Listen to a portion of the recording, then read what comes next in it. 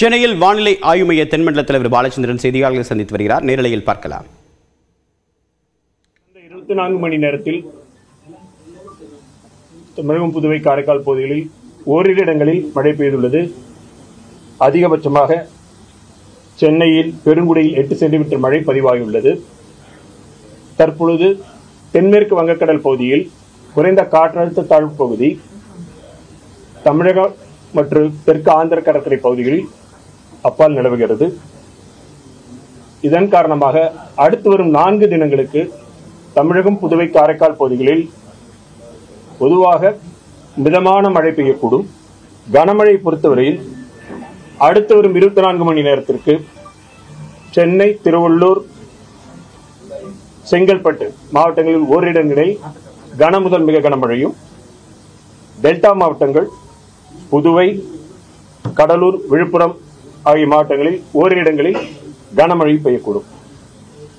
நாளை சென்னை திருவள்ளூர் காஞ்சிபுரம் செங்கல்பட்டு மாவட்டங்களில் ஓரிரு இடங்களில் கனமழைக்கான வாய்ப்புள்ளது மேலும் தென் தமிழக மாவட்டங்களில் ராமநாதபுரம் தூத்துக்குடி உள்ளிட்ட மாவட்டங்களில் ஓரிரு இடங்களில் கனமழைக்கான வாய்ப்புள்ளது பதினான்காம் தேதி வடகடலோர மாவட்டங்கள் மற்றும் தெற்கு தென் தமிழக மாவட்டங்கள் மேற்கு தொடர்ச்சி மலையை ஒட்டியுள்ள மாவட்டங்களில் ஓரிரு இடங்களில் கனமழைக்கான வாய்ப்புள்ளது. பதினைந்தாம் தேதி தென் தமிழகம் கடல் கடலோர பகுதிகள் மற்றும் மேற்கு தொடர்ச்சி மலையை ஒட்டியுள்ள மாவட்டங்களில் ஓரிரு இடங்களில் கனமழைக்கான வாய்ப்புள்ளது.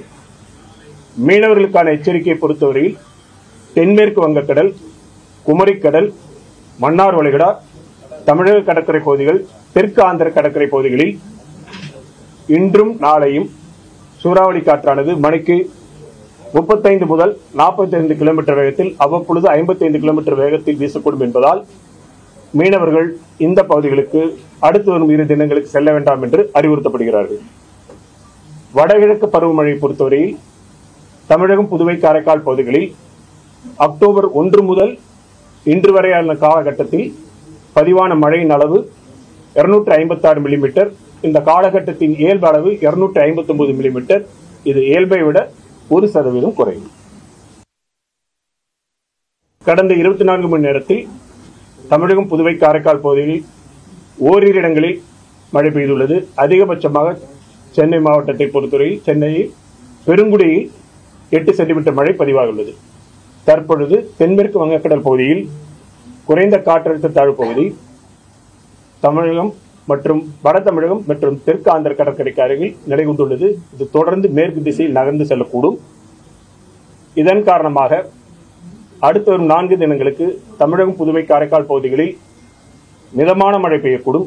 கனமழை பொறுத்தவரையில் அடுத்து வரும் இருபத்தி நான்கு மணி நேரத்திற்கு சென்னை திருவள்ளூர் காஞ்சிபுரம் செங்கல்பட்டு மாவட்டங்களில் ஓரிரு இடங்களில் மிக கனமழையும் டெல்டா மாவட்டங்கள் மற்றும் கடலூர் விழுப்புரம் ஆகிய மாவட்டங்களில் ஓரிரு இடங்களில் கனமழைக்கும் வாய்ப்புள்ளது.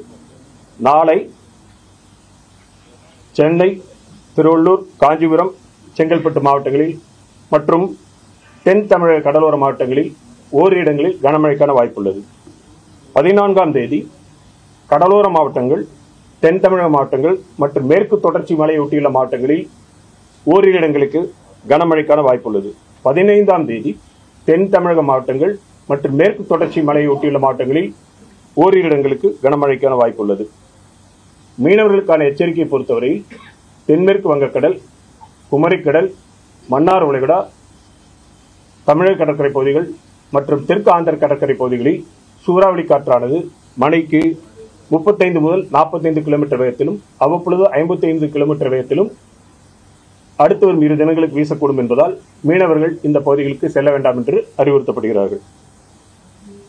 வடகிழக்கு பருவமழை பொறுத்தவரையில் தமிழகம் புதுவை காரைக்கால் பகுதிகளில் கடந்த அக்டோபர் ஒன்று முதல் இன்று வரையிலான காலகட்டத்தில் பதிவான மழையின் அளவு இருநூற்றி ஐம்பத்தாறு மில்லிமீட்டர் இந்த காலகட்டத்தின் இயல்பு அளவு இருநூற்றி ஐம்பத்தி ஒன்பது மில்லிமீட்டர் இது இயல்பை விட ஒரு சதவீதம் குறையும் ஓகேங்களா? வாய்ப்பு எதுவும் கிடையாது. இது ஏற்கனவே கடற்கரை அருகில் தான் இருக்கு. இது வீக் ஃபீபிள் சிஸ்டம் தான். மெதுவாக நடந்து கடை நம்ம இது பகுதி கடந்து செல்லும். குறிப்பிட்ட நேரங்கள்ல அதிக அளவிலான மழைப்பொழிவு ஏற்படுத்துறதுக்கு வாய்ப்பு இருக்கா? குறிப்பிட்ட நேரம்னு. அதாவது ஆறு மணி ஒன்பது மணி அப்படி இல்லை. இல்ல. இது வீக் சிஸ்டம் இது கடந்து போகும்பொழுது வாய்ப்புகளை நம்ம சொல்லியிருக்கிறோம். அவ்வளவுதான். சார், வங்கக்கடல்ல கடந்த சனிக்கிழமை வந்து முப்பத்தி ஆறு மணி நேரத்துல ஆ. உருவாகும்னு சொல்லியிருந்தீங்க. அதுக்கப்புறம் திங்கக்கிழமையில வந்துட்டு திருப்பி உருவாகுங்க துல்லிய கணிப்புங்கிறது இல்லை. முதல்ல வந்து துல்லிய கணிப்பு வானிலை என்பது தொடர்ந்து மாற்றத்துக்குரியது. வங்கக்கடல் ஏழு எட்டு ஒன்பது தேதிகளில் பார்த்தீங்கன்னா வங்கக்கடலுடைய வடபகுதிக்கும் தென் பகுதிக்கும் இடையில் வடபகுதிக்கும் தென் பகுதிக்கும் இடையில வடமே வடபகுதியில வந்து மேற்கு திசை காற்றும் தெற்கு பகுதியில கிழக்கு திசை காற்றும் சென்றிருக்குது. இது ரெண்டுத்துக்கு இடையில இன்ட்ராக்ஷன் அந்த இன்ட்ராக்ஷன் நடந்துட்டு இருந்ததுனால ஸ்லோவான டெவலப்மெண்ட் தான். ஒன்ஸ் த வெஸ்டர்லி ட்ரஃப் மூடு கிழக்கில் கிழக்கு திசையில் நகர்ந்து சென்ற பிறகு கிழக்கு நம்ம வந்து மேற்கு திசை நம்ம இந்த காற்றழுத்த தாழ்வு பகுதி உருவானது பொதுவாக பார்த்தீங்கன்னா அக்டோபர் பதினைந்துக்கு அப்புறமே அதிகமான மழை நான் இந்த பகுதியில் இல்லை. ஒரு காற்றழுத்த தாழ்வு மண்டலம் உங்களுக்கு தெரியும். அக்டோபர் மாதத்தில் அது தொடர்ந்து தானா புயல் உருவானது. ஸோ கடல் பகுதியிலிருந்து வளிமண்டலத்துக்கான எனர்ஜி எக்ஸ்சேஞ்சே கம்மி. அது தவிர எம்ஜேஓ என்று சொல்லக்கூடிய நிகழ்வுகளோ இல்லை கிழக்கிலிருந்து மேற்காக நடந்து செல்லக்கூடிய ராஸ்பி வேவ்ஸோ எதுவுமே இல்லாத நிலை. ட்ரிகர் சிஸ்டமும் இல்லை. இயல்பான அளவில் காற்றினுடைய வேகம் கிழக்கு திசை காற்றுடைய வேகமும் அதிகமாக இல்லை. அந்த மாதிரி காரண காட்டுறதுல வந்து குறைவான முறையாக இருந்தது. இதை தவிர்த்து வெஸ்டர்லி சிஸ்டத்தோட இன்ட்ராக்ஷன் ரொம்ப லோ லேட்டிடியூட் வரைக்கும் வந்ததுனால வெஸ்ட்டுக்கும் ஈஸ்ட்டுக்கும் நம்ம போட்டிருக்கோம். ரெண்டு இது பார்த்துருக்கீங்க இது ரெண்டுக்கும் இன்ட்ராக்ஷன் இருந்த காரணத்தினால வெரி டிலே ஆனது. ஒன்ஸ் வெஸ்டர்லி சிஸ்டம் கிழக்கில் நகர்ந்து பிறகு நம்ம சிஸ்டம். அந்த மாதிரி இல்லை. இந்த இந்த இப்போ இருக்கக்கூடிய இந்த மாதிரி மழை நிலை தான். மழை நிலை அறிஞ்சு ஒரே ஒரு நாளைக்கு நம்ம இது பண்ணியிருக்கோம். எல்லா பகுதியிலும் இருக்குன்னு சொல்ல முடியாது.